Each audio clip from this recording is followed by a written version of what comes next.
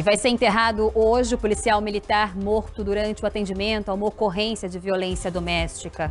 O idoso, suspeito de ameaçar a esposa, foi quem atirou nesse policial militar que não resistiu.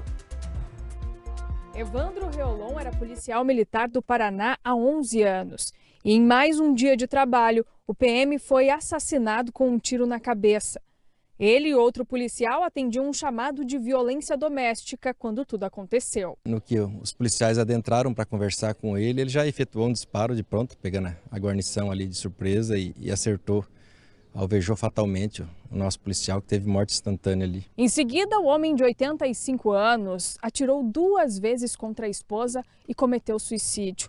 A mulher foi socorrida e encaminhada ao hospital, onde aguarda por cirurgia. A arma do outro PM também foi disparada.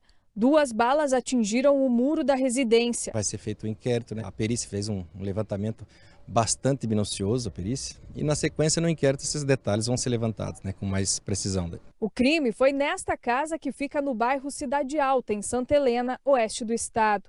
Os vizinhos ficaram chocados. A gente conhece, né?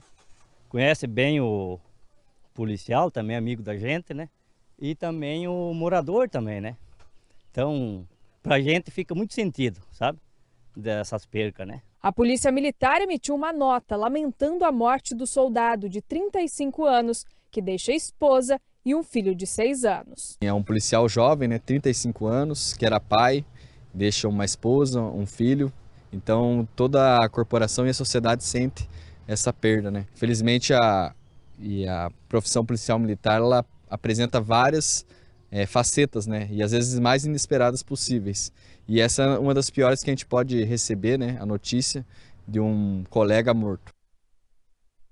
É a tragédia em cima da tragédia, né? Já não bastasse o caso de violência doméstica, também essa tragédia envolvendo um policial militar aqui no nosso estado, que esse idoso, que esse suspeito, se comprovado, pague pelos crimes, os dois que ele cometeu.